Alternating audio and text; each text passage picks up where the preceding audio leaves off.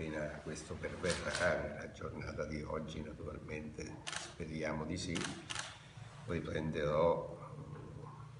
tutta quanta la mia agenda, diciamo così, quotidiana.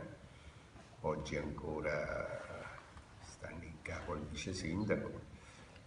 e poi naturalmente faremo il percorso politico che già ieri ho delineato per vedere quali sono le decisioni più utili da assumere nell'interesse della città di Terni. Questo percorso politico da dove parte?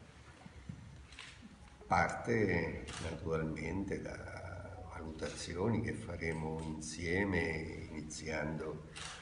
dalla giunta e poi allargando ai consiglieri comunali di maggioranza che hanno avuto un comportamento altamente responsabile, quindi credo adempiendo in pieno alla fiducia che gli hanno riservato gli elettori e, e poi naturalmente alle forze politiche e poi diciamo prima naturalmente di chiuderlo mi premurerò anche di incontrare le rappresentanze associative della città in modo anche da avere con loro un confronto su dei temi e quindi anche su quello che sarà l'orientamento che emergerà. Quindi una sorta di consultazione? Beh, diciamo sì, è un confronto aperto che naturalmente coglie le criticità che già conosciamo a partire dal piano di riequilibrio che insomma, è in fase di avanzata valutazione da parte del Ministero, quindi noi stiamo continuando come amministrazione nel percorso che avevamo delineato, nelle tappe che ci eravamo proposti e poi naturalmente tutte quante le cose che riguardano la città, dal progetto per il palazzetto dello sport alla sistemazione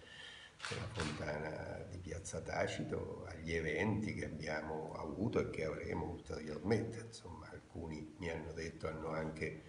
avuto un riscontro estremamente positivo quelli di Special Olympics, adesso abbiamo la festa del pane e quindi insomma continuiamo fino a una decisione definitiva nella, in quella che è la nostra programmazione. Mm, dal punto di vista amministrativo, Sindaco, il, la partita più grande possiamo dire è quella del predissesto, del piano di riequilibrio adesso? Beh, certo, insomma, perché sapete tutti che l'approvazione di quel piano è elemento decisivo per la prosecuzione della legislatura, quindi dal punto di vista amministrativo il eh, nodo maggiore è quello, dicevo noi abbiamo fatto gli atti in questo periodo che il Ministero ci aveva sollecitato in modo da rendere credibile il piano che abbiamo presentato, l'ultimo è stato appunto il consuntivo, del 2016 e, e quindi ecco, adesso insomma, andremo a nominare il nuovo amministratore unico di farmacie Terni, eh, che è un ulteriore passaggio, eh, per poi preparare gli atti per la gara di alienazione. Intanto proseguiamo anche negli altri settori che avevamo investito per recuperare la finanza necessaria per pareggiare diciamo così, i conti debitori che abbiamo da come parla non sembra aver compiuto, almeno nella sua testa, passi indietro, è così? Dicevo, è una valutazione che faremo insieme, naturalmente in questo momento l'idea è quella di diciamo, andare avanti, ma poi sarà una decisione che eh, prenderemo non da